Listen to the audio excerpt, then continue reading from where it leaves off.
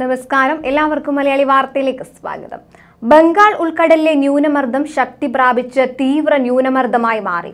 സംസ്ഥാനത്ത് രണ്ട് ദിവസം കൂടി ശക്തമായ മഴയ്ക്ക് സാധ്യതയുണ്ടെന്ന കേന്ദ്ര കാലാവസ്ഥാ വകുപ്പിന്റെ മുന്നറിയിപ്പ് പതിനാല് ജില്ലകളിൽ പന്ത്രണ്ട് ജില്ലകളിലും രണ്ട് ദിവസം കൂടി ശക്തമായ മഴയ്ക്ക് സാധ്യതയുണ്ടെന്നാണ് മുന്നറിയിപ്പ് നൽകിയിരിക്കുന്നത് തിരുവനന്തപുരം കൊല്ലം ജില്ലകൾ ഒഴികെയുള്ള എല്ലാ ജില്ലകളിലും ഒറ്റപ്പെട്ട ശക്തമായ മഴയ്ക്കും മണിക്കൂറിൽ നാൽപ്പത് മുതൽ അറുപത് കിലോമീറ്റർ വരെ വേഗതയിൽ വീശിയടിച്ചേക്കാവുന്ന കാറ്റിനും മറ്റ് ജില്ലകളിലെ ഒറ്റപ്പെട്ട ഇടങ്ങളിൽ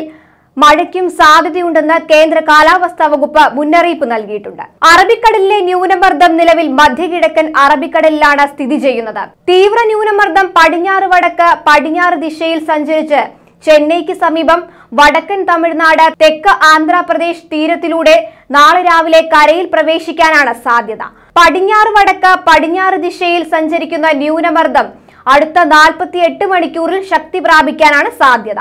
അതേസമയം കേരള തീരത്ത് ഭീഷണി ഇല്ലെങ്കിലും അടുത്ത രണ്ട് ദിവസം കൂടി ഒറ്റപ്പെട്ട ശക്തമായ മഴ തുടരാനാണ് സാധ്യതയെന്നാണ് മുന്നറിയിപ്പ്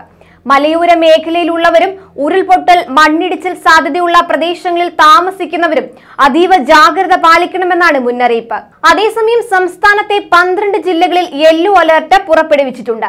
നാളെയും സംസ്ഥാനത്തെ പന്ത്രണ്ട് ജില്ലകളിൽ യെല്ലോ അലർട്ടാണ് പുറപ്പെടുവിച്ചിരിക്കുന്നത് തിരുവനന്തപുരം കൊല്ലം ജില്ലകൾ ഒഴികെയുള്ള എല്ലാ ജില്ലകളിലും ഒറ്റപ്പെട്ട ശക്തമായ മഴയുണ്ടാകുമെന്നാണ് അറിയിച്ചിട്ടുള്ളത് ഉച്ചയ്ക്ക് ഒരു മണിക്ക് പുറത്തിറക്കിയ പുതിയ വാർത്താക്കുറിപ്പിലാണ് കൂടുതൽ ജില്ലകളിൽ മഴ മുന്നറിയിപ്പ് നൽകിയത്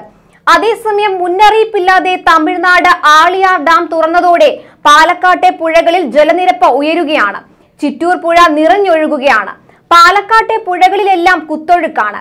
യാക്കര പുഴയിലേക്കും വൻതോതിൽ ജലമെത്തിയതോടെ കനത്ത ഒഴുക്കാണ് അനുഭവപ്പെടുന്നത് അസാധാരണമായ ജലനിരപ്പ് ഉയർന്നതോടെ പാലക്കാട്ടെ പുഴയോരങ്ങൾക്ക് സമീപം താമസിക്കുന്നവർക്ക് ജില്ലാ ഭരണകൂടം ജാഗ്രതാ നിർദ്ദേശം നൽകിയിട്ടുണ്ട് പുഴയിൽ ഇറങ്ങരുതെന്ന് ആവശ്യപ്പെട്ടിട്ടുണ്ട് ഭാരതപ്പുഴയുടെ തീരത്തുള്ളവർക്കും ജാഗ്രതാ നിർദ്ദേശം നൽകിയിരിക്കുകയാണ് ചിറ്റൂരിലെ വെള്ളിയോടി പാലത്തിന് മുകളിലേക്ക് എത്തുന്നതുവരെ ജലനിരപ്പ് ഉയർന്നിരുന്നു പുഴകളിൽ കുത്തൊഴുക്കുണ്ടായതോടെ ജനങ്ങൾ പരിഭ്രാന്തരായിരിക്കുകയാണ്